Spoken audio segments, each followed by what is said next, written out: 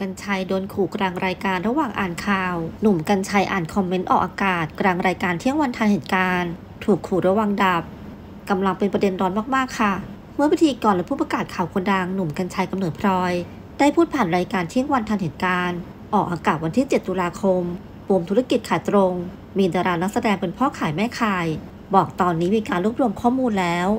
และวันนี้หนุ่มกัญชัยได้อ่านข่าวประเด็นร้อนดังกล่าว ในรายการเที่ยงวันทันเหตุการณ์ ซึ่งหลังจากที่ได้อ่านข่าวจบแล้ว ซึ่งก่อนจะปิดรายการข่าว หนุ่มกัญชัยได้หันมาถามพิธีกรอ่านข่าวคู่ หมวยอดิศราว่า ได้อ่านข้อความคอมเมนต์จากทางบ้านแล้วน่ากลัวไหม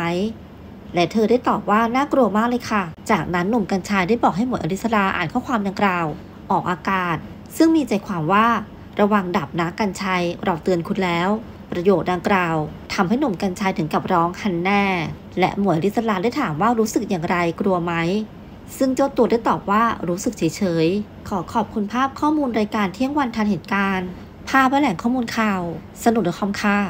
ฝากกดไลค์ กดแชร์ กด Subscribe กดกระดิ่งกันด้วยนะคะ